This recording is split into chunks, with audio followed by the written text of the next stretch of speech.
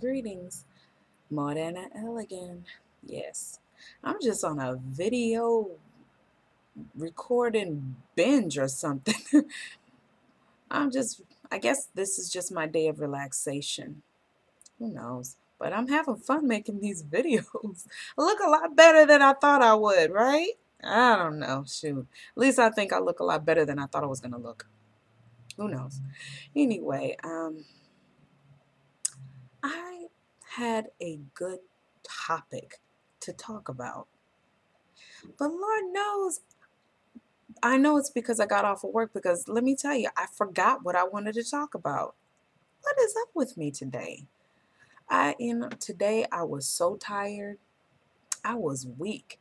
But I, I've had I had a month from hell. I mean hell. You hear me?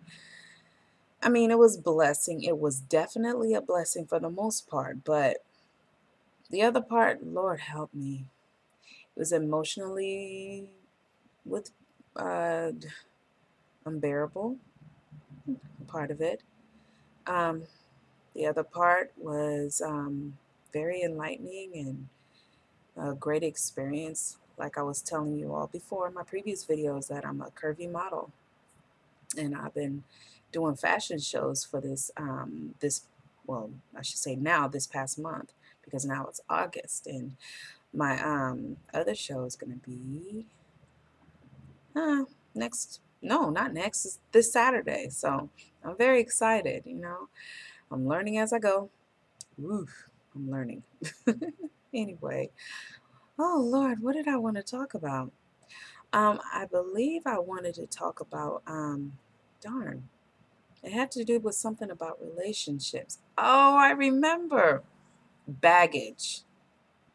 I wanted to talk about baggage and um, get your um, opinion about how I see things. Just have an open mind about what I'm about to say. You know, people say they don't want a person with baggage. Hell no. I mean, yeah, definitely. You know, especially those, you know, when people don't have children and they're looking for a relationship, they don't want a person that has children. Some do, but a lot of times, at least in my life, including myself, I didn't want to deal with a person that had children. Like, if I don't have kids, what do I want with someone that has children? No. I mean, no, no, no, no, no, no.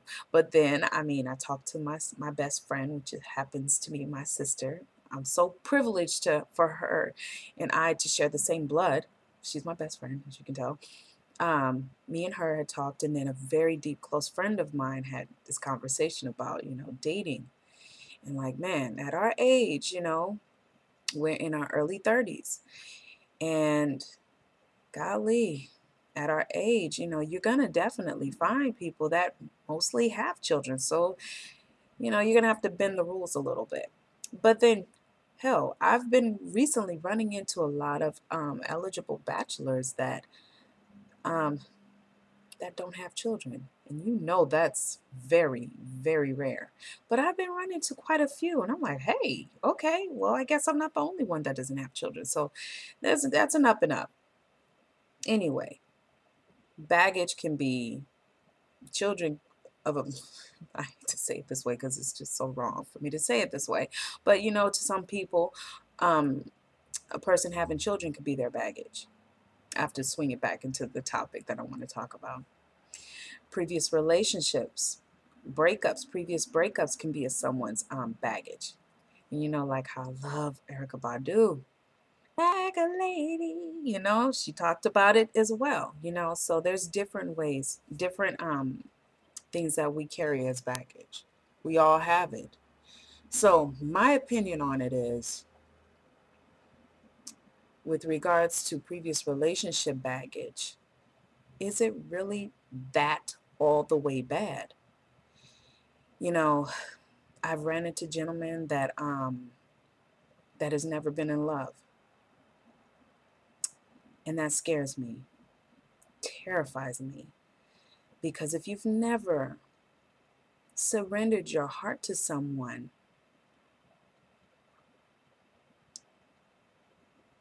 why not? First question. Number two is If you've never surrendered before, do I even have a chance? Yes, we are all different. And, and yes, I definitely consider myself to be very unique and um, and I mean, I'm telling you, I come from a queen. Let me tell you, I come from a beautiful queen, a beautiful spiritual woman. That's my mother. And I know I was raised unique. But still, people's perceptions and how society um, is and how people succumbs to society and the way they think. And I mean, we all know that relationships are and commitment and marriage is looked at looked so down upon. So when you have all that rolled up into one, that's baggage. Definitely that's baggage. So a person that's never been in love before, that scares me. And the way people if you've never been in love, you never surrendered, and basically, what type of chance do I have? Yes, I'm different, but do you see me as different? You know? I don't know. Um, so, if you've never been in love, that scares me. To me, that's another sort of baggage. Believe it or not, I, really feel that way. Those that have been in love before and that's their baggage.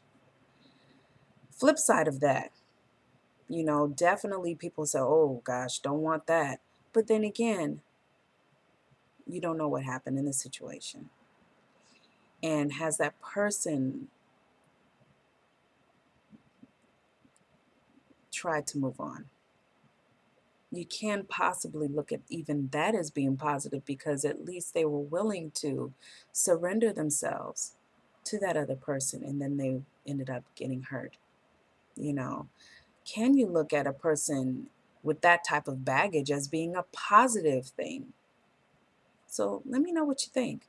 I know it's very strange, a strange question, but seriously, maybe think baggage and what types of baggage is out there. Okay, so let me know what you think. And again, like I said, keep it keep it respectful, please. I, I urge you all to be please be respectful, you know.